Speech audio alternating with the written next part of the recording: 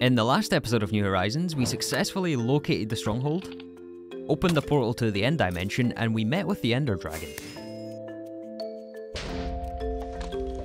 Wasn't much of a fight, honestly, it was a pretty decisive victory. We secured the end, defeated the dragon, and collected an abundance of Endstone. The Endstone was transported back to the base and processed down into tungstate, which then had to be converted into tungstic acid using a new set of EV machines. And between episodes, I converted all of the tungstic acid through the blast furnace into tungsten trioxide, and then again through the blast furnace with carbon for tungsten. With a 400 second smelt time though, that was going to take a while. So in the meantime, I started working on another automation for drilling fluid, in preparation for an upcoming expedition to Mars.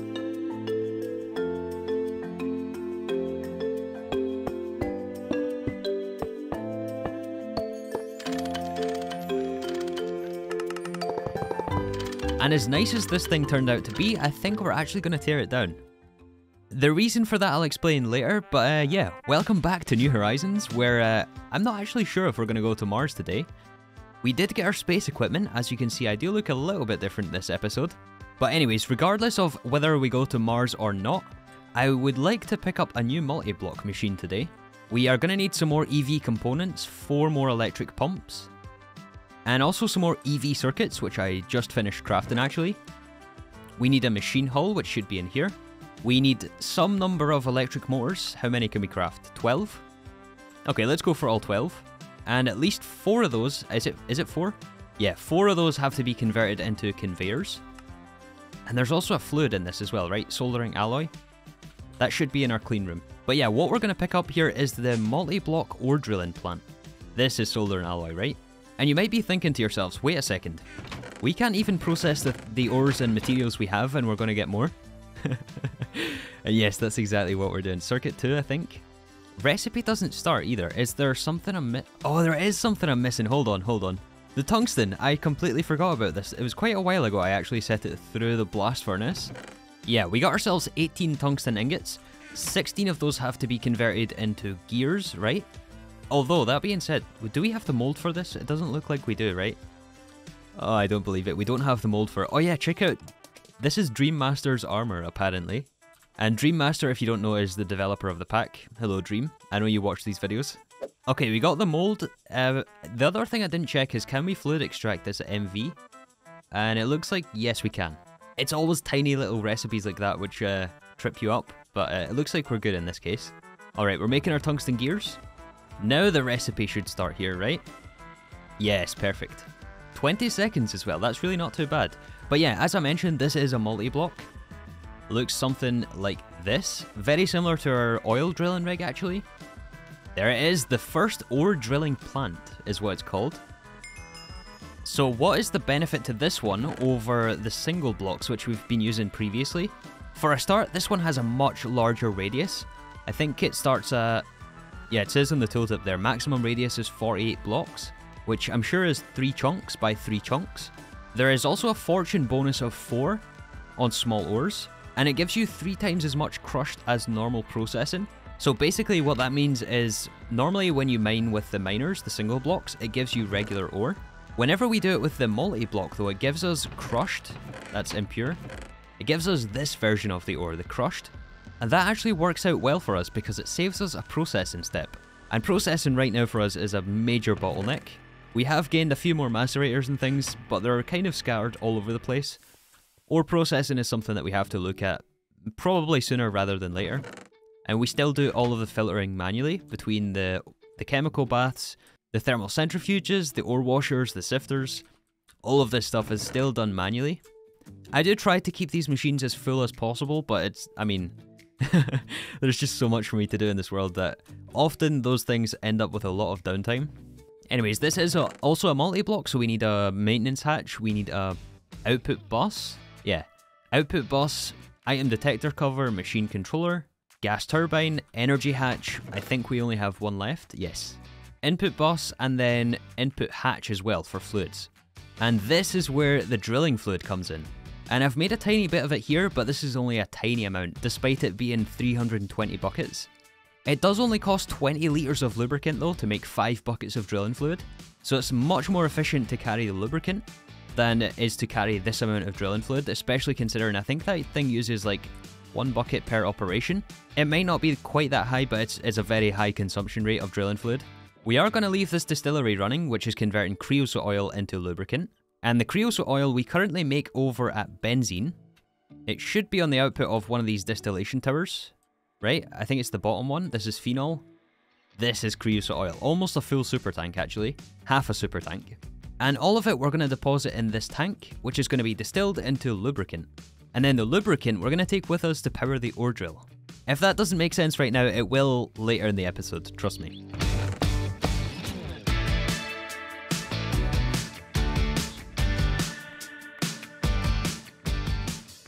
So after careful consideration on the best path forward, I concluded that the optimal strategy would be to hit Mars as soon as we can, hopefully safely and ideally well prepared.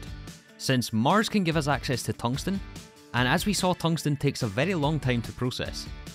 So I began the pre-departure checklist for Mars, making sure to grab the rest of the things we need for the ore drill, plenty of item and fluid storage, fuel for the rocket and for our batteries, charging up the armor, and lots of other miscellaneous things we would need for our adventures.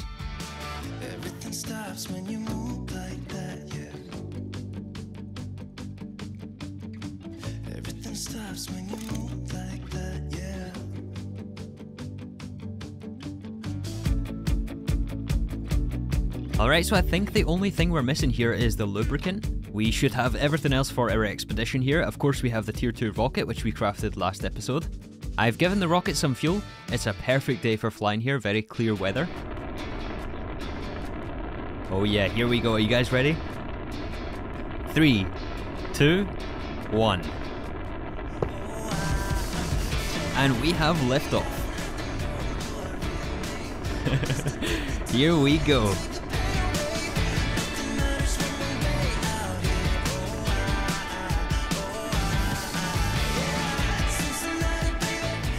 Alright, so we're selecting Mars this time.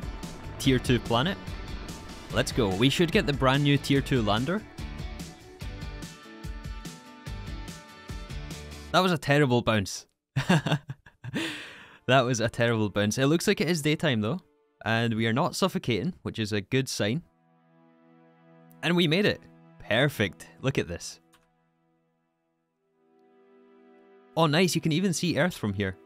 That is cool, I don't think I've noticed that before. But yeah, our rocket again should be in the landing balloon. Let's give a waypoint to the landing site. And there is our quest. Yeah, we are just going to go underground again because the mobs will appear as soon as it gets dark down here. Speaking of darkness, we do need night vision. So yeah, to set up oxygen supplies, we need leaves for the oxygen collector. This one. That's going to go through an oxygen pipe into the bubble distributor. We give both of them some power, and this is using 160, we're generating 156, so yeah, a few more leaves. And this should be enough to sustain us here. 160 and 172, perfect. So we're now generating more oxygen than we need. And we can also set up the compressor as well, the oxygen compressor. What's the bets? I placed it the wrong way. Yeah, I did. Other way.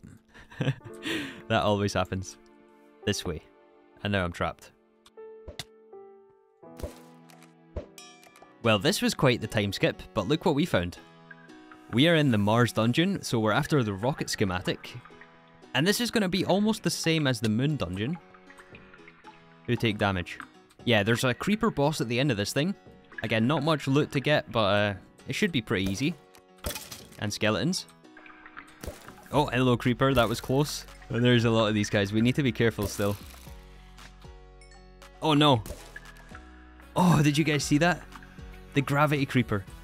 Okay, let's regen a little bit. We've got the Healing Axe. And this is the boss room right there. Okay, we do have some spare oxygen on us. Let's go for it. This should be the Creeper, the Evolved Creeper. I forgot just how long this boss takes as well. It's... oh my goodness, this takes forever.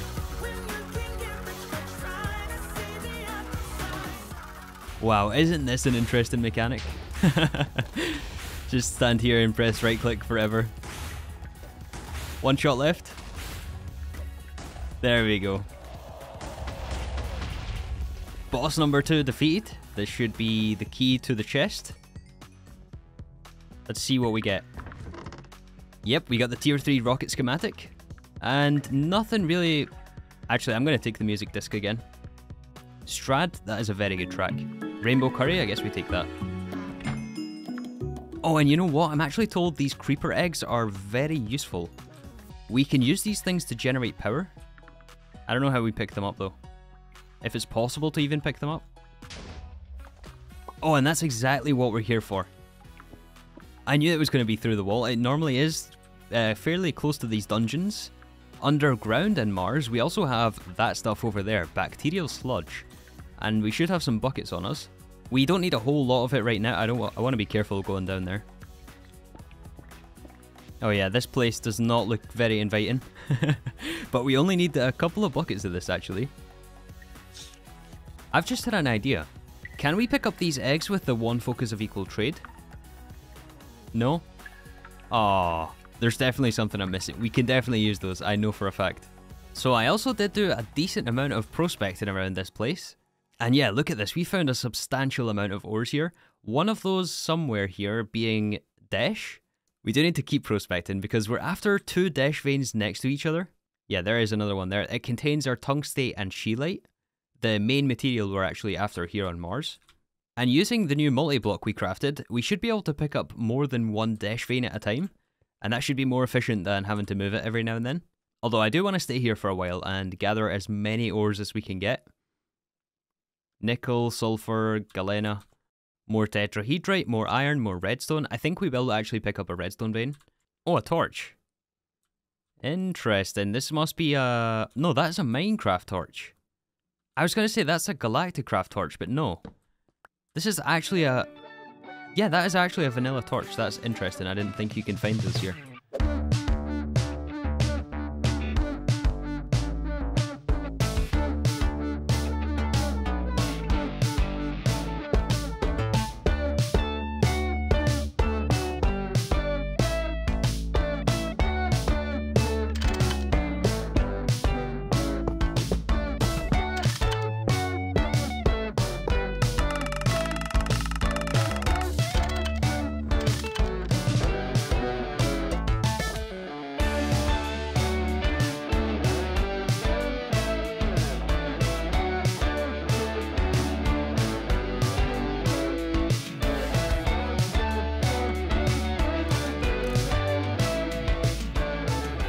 So with the ore drill set up on a double Desh vein, I went out to place the single block miners, and we have those on a redstone vein and another Desh vein.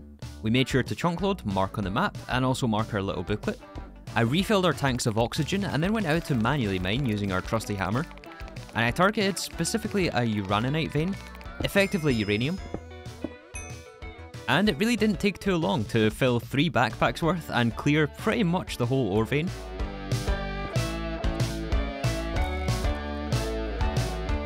And so now you're joining me here at a quartz vein, Certus Quartz. Can you guys guess what this is for? I know, I keep saying we're close to applied energistics, and we actually are. There is a small possibility that we get applied energistics storage next episode. We will see.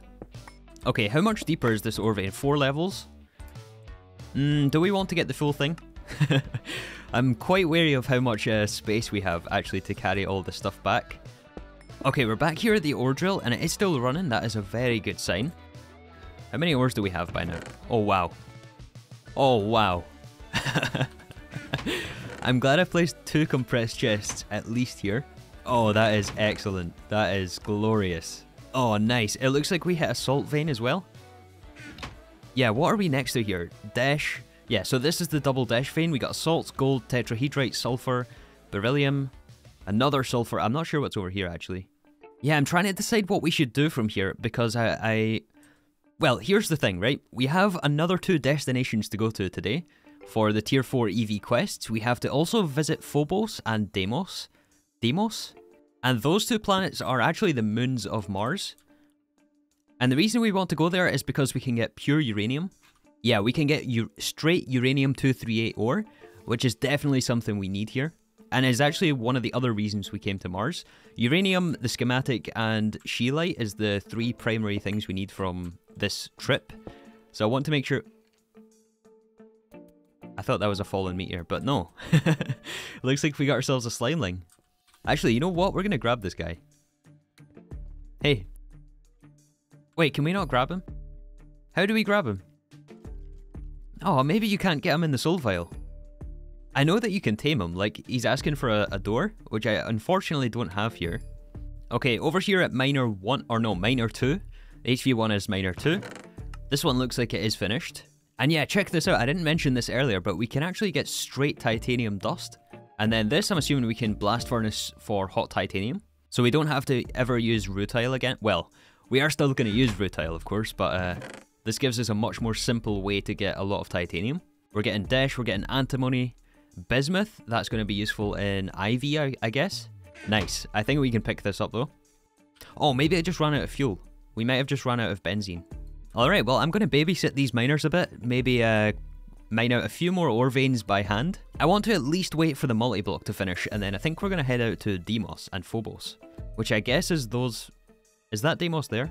That's the sun, that's the overworld. I guess it is, right? so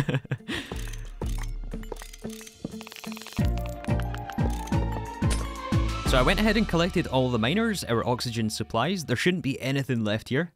this guy's followed us up here as well. Let's make sure we refuel the rocket. Oh boy, I really hope we have everything here. You know what, I'm almost tempted to go down and check, but uh, I'm going to trust myself. I'm pretty sure we're safe here. We're safe to go.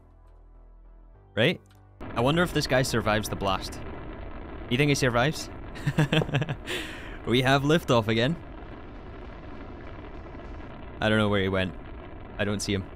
So my original intention was to go straight to Deimos, but actually I've just had an idea. We're going to go back to our base even though we do save fuel if we go straight from Mars to Deimos. Yeah, we're gonna go back to the overworld first.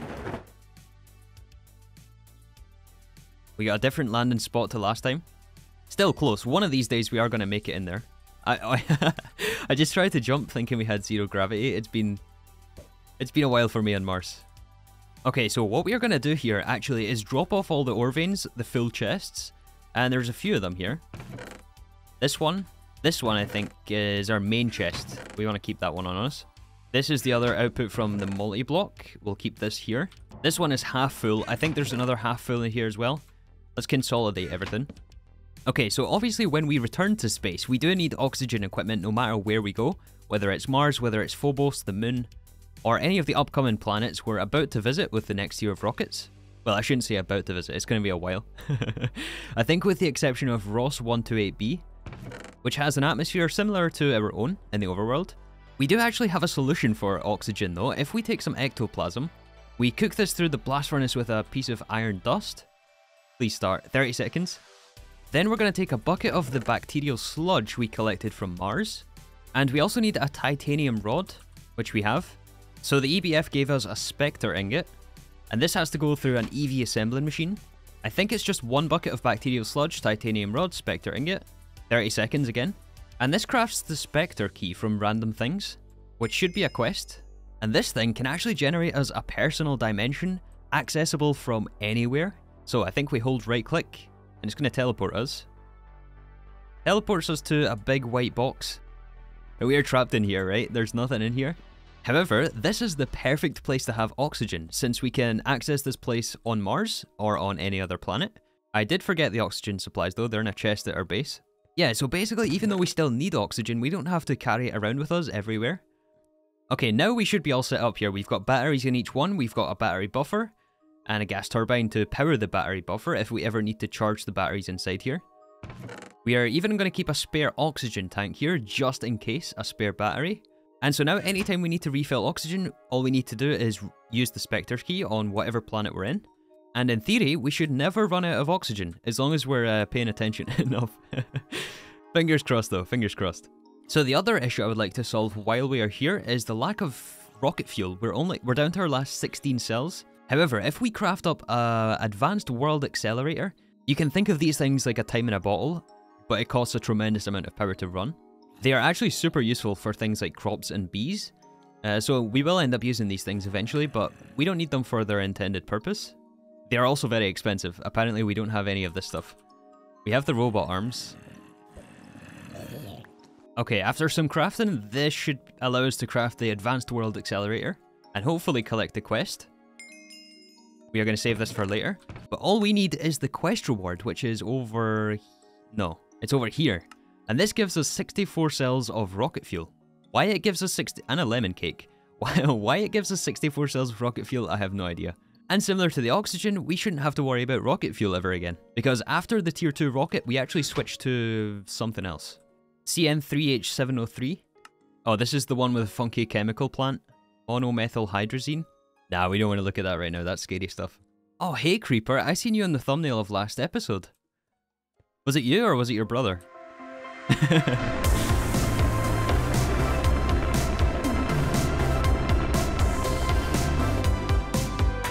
Alright, welcome everyone to Phobos. Hopefully we get a good bounce. Yes, there we go. and you know what we actually should have brought last time is a hopper. Because occasionally this thing can actually bug out the landing balloon. Yeah, guys, be careful with the landing balloon on tier 2 planets with a tier 2 rocket. I find that if you don't let it sit completely still before you exit the vehicle, then you can sometimes not be able to pick up the rocket. But uh, if you find yourself in that situation, just place a hopper underneath and it should be able to extract it. Obviously, if you're actually carrying a hopper, which we really should be. But yeah, we're on Phobos here, and that is a very large... I guess that is Mars, right? Let's grab the stone for the quest. Dimensional Goal Phobos. And you know what? I don't remember where we originally bounced. Ideally, we take off from the same spot we land at. I'm just to mark here. This is potentially the landing spot. We might land a bit wonky uh, back in the overworld, but we'll see. Aha, so here we can get Draconium, which also contains Electrotine, Vinteum, Jade, and of course Draconium ore.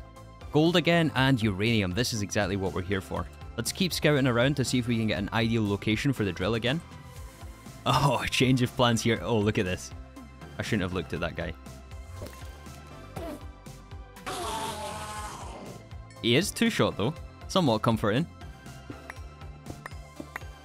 Anyways, yeah, very slight change of plan. We're going to place it here next to a uranium, a, two bauxite veins, gold, or a hurricane.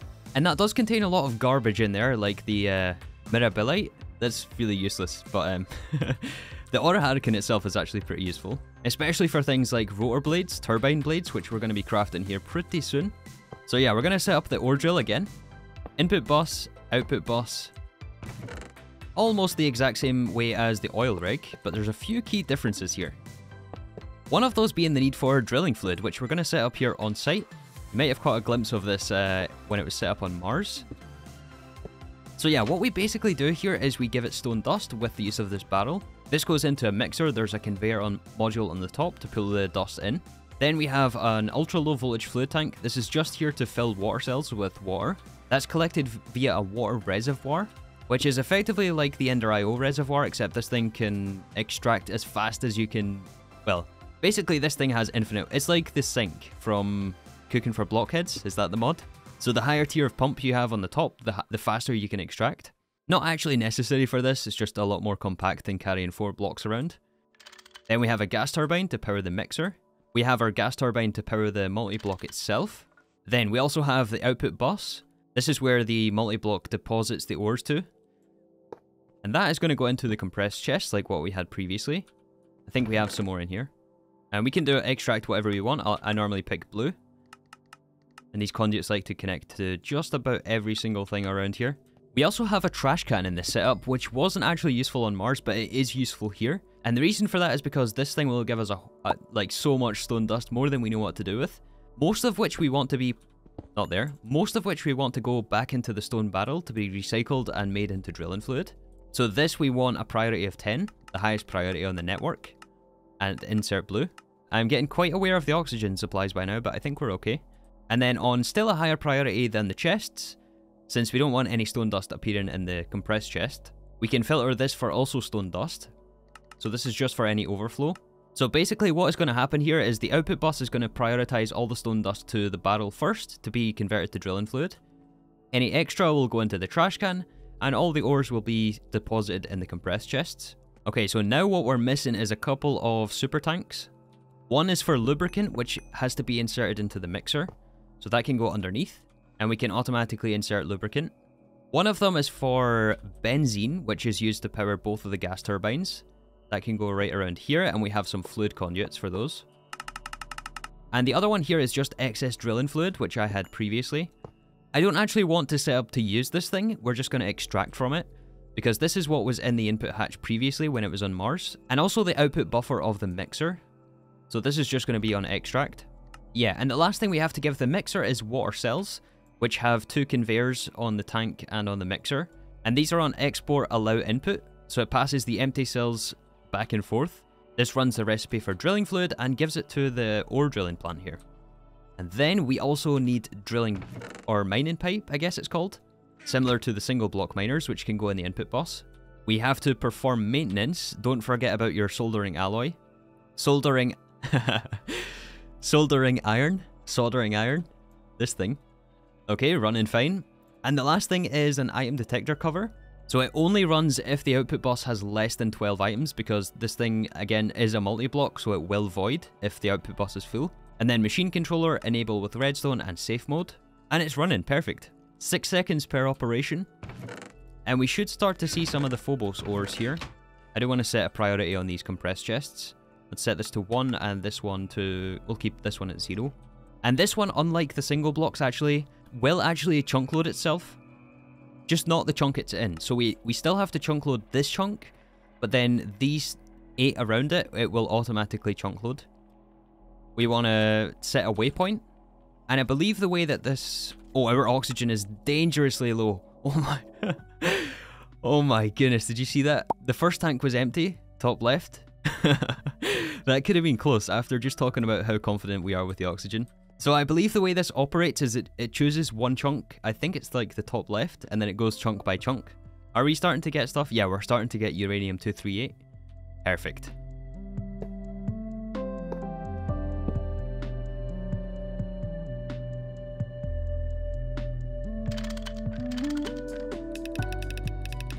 So from this point, I went out to place the single block miners again, making sure to maximize our efficiency on Phobos to hopefully reduce the number of times we have to visit here. And again, it's not like we can process all this, maybe ever. At least until they get ore processing, that's for sure. But the way I see it, it's better to have too many ores than not enough ores.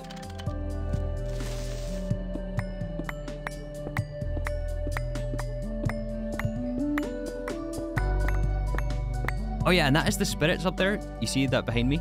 That's where you can get the ectoplasms. But yeah, I think with that is also a good point to wrap up the episode. So yeah, I reckon I'm going to be here for another few hours at least for me. I'm going to let the ore drill finish and probably move the miners another, well, at least once more. Basically, I'm just going to max out the storage capacity on the compressed chest that we have with us. And I want to thank you guys all for watching. I hope to see you all in the next episode of New Horizons, where hopefully I did remember to refill these oxygen tanks, which are getting very low again. Thank you guys for watching, and I'll see you all in the next episode.